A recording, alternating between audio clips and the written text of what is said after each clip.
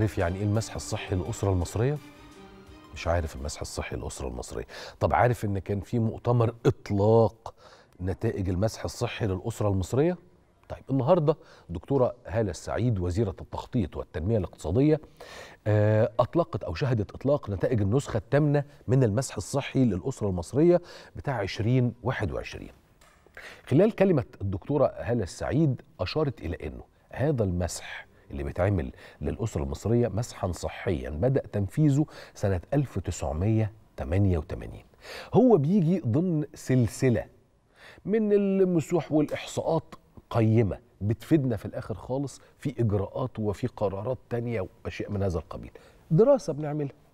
طيب الحاجات دي بيعملها الجهاز المركزي للتعبئة والإحصاء.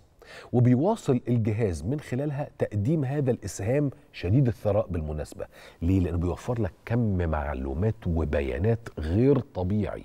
بيانات شاملة وبيانات متخصصة على المستوى القومي. بتأكد دكتور هالة السعيد إن المؤشرات اللي بيوفرها هذا المسح بتساعد متخذ القرار في إيه؟ في رسم السياسات والبرامج الإسكانية على سبيل المثال والسكانية والصحية.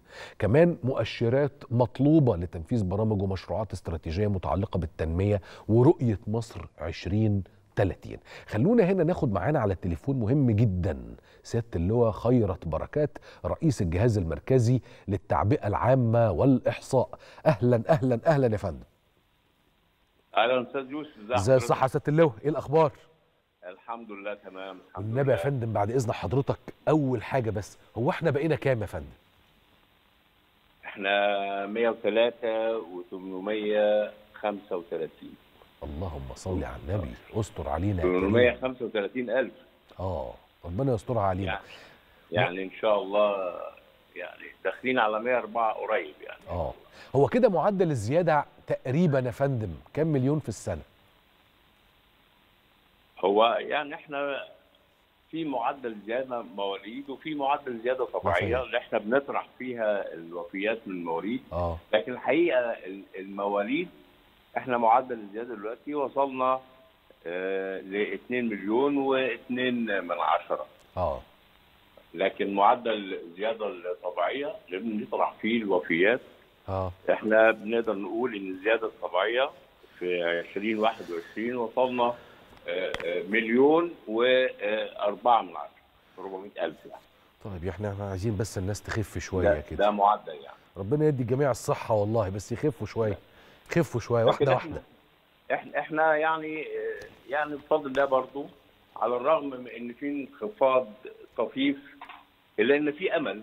والحقيقة نتائج المسح النهارده يعني فيها مؤشرات مطمئنة بتقول إن إحنا ممكن نوصل لمعدلات الزياده تحقق اللي إحنا عايزينه بس طبعا بإجراءات آه، شديدة مطلوبه يعني.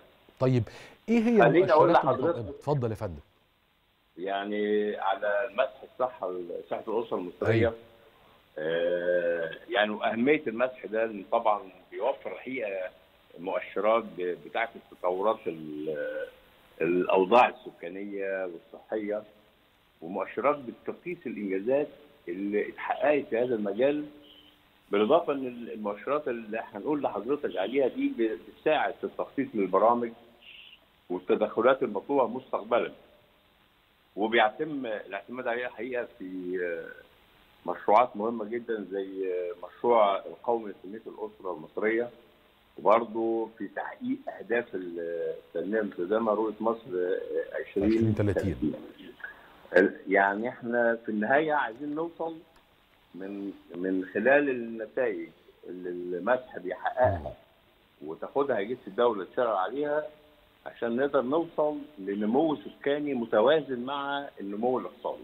طب كانت أبرز المؤشرات إيه يا فندم الحقيقة ال- قبل ما نقول أبرز المؤشرات يا أستاذ يوسف عايز برضه أقول لحضرتك إن هذا المسح مسح من المسوح المهمة جدا وهو مسح قومي بالدرجة الأولى وكان الحقيقة تم تنفيذه بتوجيهات من القيادة السياسية لأهمية هذا المسح في إنه هيوفر المؤشرات اللي هنقدر من خلالها نعالج أهم مشكلة بتواجه الدولة المصرية وهي مشكلة الزيادة السكانية.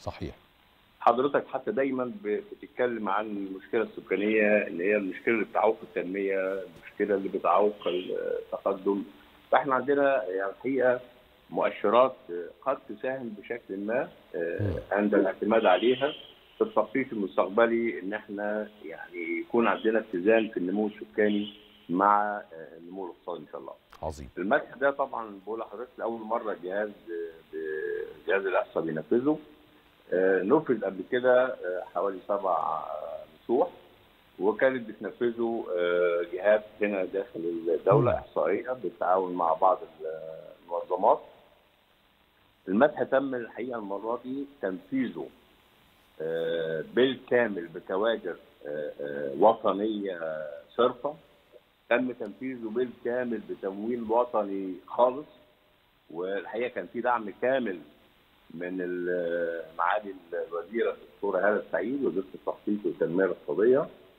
هي ساعدت بقوة في إن إحنا ننفذ هذا المسح آه، لاول مرة بالجهاز. والحقيقة الجهاز نجح الحقيقة في في تنفيذ هذا المسح والخروج بهذه النتائج وهذه المؤشرات. عايز أقول لحضرتك إن أهم المؤشرات في هذا المسح اللي وفرها المسح ده مؤشر آه، الخاص بمعدل الإنجاب. آه عايز أقول لحضرتك إن معدل الإنجاب انخفض اللي هو المعدل الإنجاب الكلي. انخفض ل 2.85% طفل لكل سيدة خلال الفترة الإنجابية ليها. كويس لكل سيدة خلال الفترة العمرية الإنجابية بتاعتها في معدل مواليد.